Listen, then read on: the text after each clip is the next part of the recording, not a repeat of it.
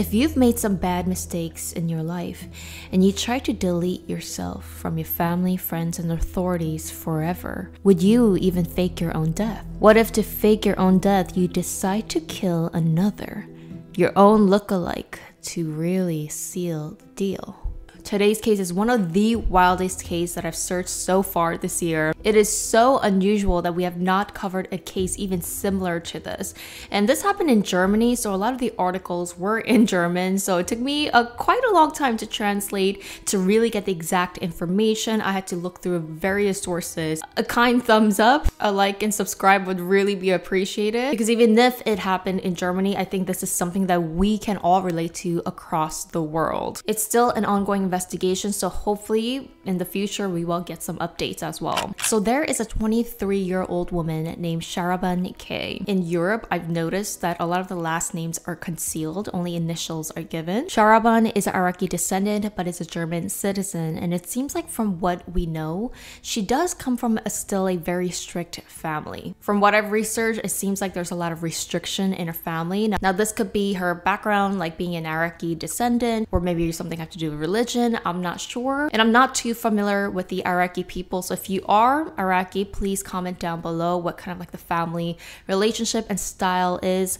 From what we know, it seems like Sharaban did have a very, very uptight, heavily involved in her every step of her life, unlike kind of like American cultures where literally 18, you're free to go, do whatever you want. Sharaban was also known to be a beauty blogger, especially active on Instagram, but it seems like she did post things related to clothing, makeup, makeup and hair. It is also known that she is married but separated from her husband. And this is going to be important information in today's story. But to me, being married and separated at only 23 years old seemed to be very young. Now, sometime in August of 2022, she would tell her family that she was going to go meet her ex husband to talk. But she would not return for a while, which was not like Sharaban, and her family started to get really worried. Her family went out to search for Sharaban, and eventually they did find her Mercedes car and was found near the Danube River in a street. When they opened the doors to the car in the back seat,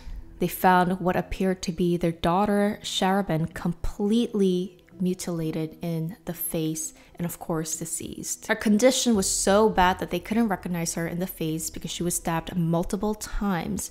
But because of her hair, the body, they thought that this was obviously her. The police was called and the body was taken to do an autopsy to see exactly what happened and who might have done this to their own daughter. Their family was obviously devastated, never having to imagine your 23 year old daughter go through something like this. And again, remember, she said she was gonna go meet her ex husband. So the family was like, hmm we know who to point fingers to. Although the family were sure, I guess in Germany or in homicide cases these days, they did a DNA test on the body just to make sure, you know. Just 24 hours since the DNA test and the family had been preparing for a funeral, they got a call of a shocking news. The news that would shake Germany. The woman that was found was not Sharaban, their daughter, but another woman named Khadija O. Khadija was 24 years old. She was a woman that lived about 100 miles away from where they lived. Now, she was mysteriously murdered and ended up in someone else's car that was mistaken for Sharaban. Shortly after, Sharaban was found alive, and her and her accomplice Shakir was found and arrested. So, WTF happened here? It turns out that this was all part of a sick plan. An unheard of plan till this day that the two would come up with, all to fake her own death to run away from her life problems. So what happened here was that police found out that Sharaban actually made multiple fake decoy Instagram accounts and started to reach out to multiple different women around Germany, especially around where she was living. It seemed like she was looking for someone that looked very similar to herself, a doppelganger, someone with the same skin tone, same type of hair, body type, height. And actually, multiple girls that she reached out to responded back. And one of the girls that responded and she reached out to was a girl named Khadija. Khadija was another Instagram beauty blogger, and police say she was also very active on Instagram. And I did find her TikTok account, and you could see she was so beautiful. She was only 24 years old, also very close, similar age to Sharaban. So the first plan that Sharaban did was that she reached out to multiple girls, claimed that she was a manager of a famous rapper in Germany, and that they were recruiting models for her music video. It is actually very common for managers, artists to link up with different people, to hire people and DM them on Instagram. So this seemed not too unusual for especially the MZ generation. And this is the rapper that the alleged manager said they were recruiting for. Her name is Loon. She seems to be very popular in Germany. She apparently has millions of followers on Spotify, and she's also a Iraqi descent singer. So Khadija seemed to be very interested. She was like, oh my god. But Khadija did feel like something was iffy and off. So Khadija would actually send a DM to Loon, the singer, saying, quote, I hope you see it and can answer me because I'm very, very insecure. A woman texted me about shooting a video, supposedly of you and I don't know. I'm not sure if it's fake. She thinks that's also in Offenburg and everything. Not that I drive there and then something happens. Would be super cool if you tell me if this is real or fake. Loon, the singer, replied saying, It's fake, sister, don't answer. So obviously Khadija knew that this was a scam and she ignored it, but Sharaban did not give up. The next thing Sharaban would do was that she made up that there was some kind of a contest, some kind of beauty contest in a salon that she was operating in and she was gonna give free treatments and free products and she did this like giveaway contest. And again, reached out to Khadija. Now later we will find out the address of this hair salon was actually Sharaban's ex-husband's real hair salon. Now this plan, this trap seemed to work and Khadija would end up agreeing to meet up with Sharaban for this beauty treatment or contest winning. Khadija actually lived about 100 miles away from Sharaban and Sharaban said that she would even go pick up Khadija from her hometown all the way miles and miles away. And I guess Khadija really saw the kind heart in people and thought that she was really going to be a model and get free treatments. Again, it's very common for influencers and celebrities to get these kind of DMs to be models for people. I get them a lot, you know, a lot of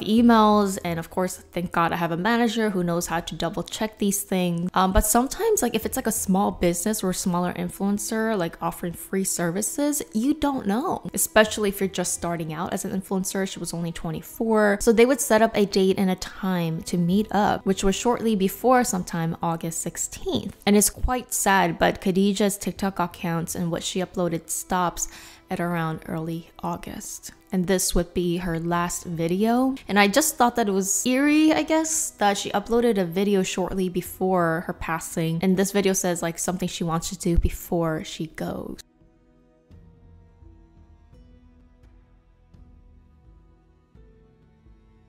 So I believe the three, so Sharaban, Khadija, and the man that Sharaban hired, Shakir, they would meet up pick her up and actually did something like gave her free items, I believe.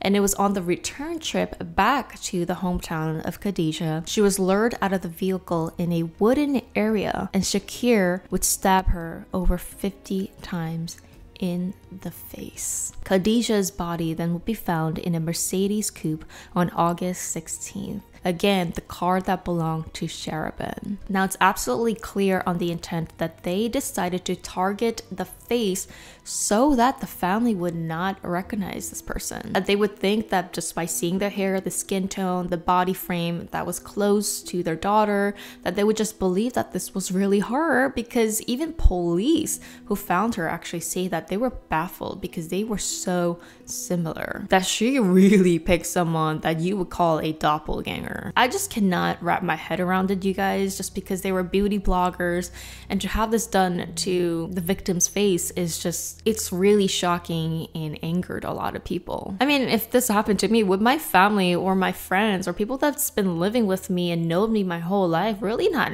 even recognize my body? But then I thought, well, I'm sure the family would really not want to look at the body, especially if your loved one's face is completely gone and bloody and in that position like that. I don't think you would would want to look at the body precisely, I guess. And I think that's why everybody was kind of fooled in the beginning because they were like, oh, that's her. You know, I don't want to look, I don't want to see my loved ones in that position, you know? So I think it was a quick check more than like a thorough thing. Now, the man who did this, Shakir, was believed to have been paid about 80,000 euros for the job. Some say that this was like her boyfriend, some says that it was just someone paid, her friend. There's also reports that Sharaban actually had a new boyfriend. So I think there's like a lot of men problems here, honestly, as well. Here's a photo of Shakir's apartment, which the police had to blow up the door to arrest him. And here's a photo of Sharaban in a pizza store before her arrest. You know, like casually ordering pizza when you're supposed to be dead. When Sharaban was arrested and found, police stated that she did this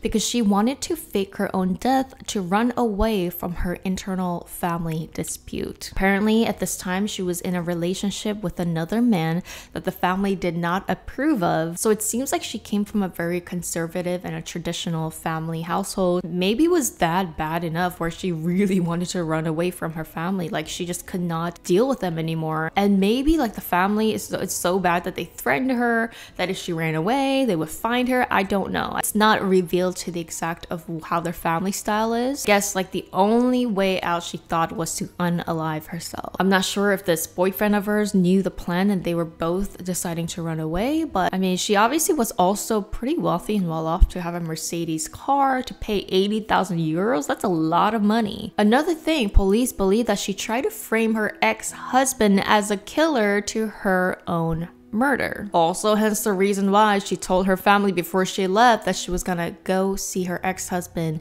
and talk to him. So it wasn't just the innocent victim, Khadija, it was even her ex husband she was trying to frame to, to put him in jail. The two suspects are arrested, they're in custody, and they're still awaiting trial. If found guilty, they do face life in prison. The crazy thing is, Khadija, the victim here, she was not in any way affiliated with these people. They were just strangers. Sharaban didn't know this girl, like they weren't friends, ex enemies, or anything like that. She literally lured and trapped innocent victim that she found online that resembled her. I think that's even more crazy because if you found someone that looked like you, like a doppelganger, I would have even more empathy for that person being like, oh my god, we look alike. Maybe we can be best friends. But to some people, I guess they plan sick stuff like this. Another question is if DNA testing was not done, like the family or whatever, the law said that you don't have to do DNA tests, what would have happened? What if still till this day they believed that Sharaban was dead? And what if her body was cremated? I mean, this case would have never been discovered or solved. And the ex husband really would be blamed for, it and he would have to go to trial. And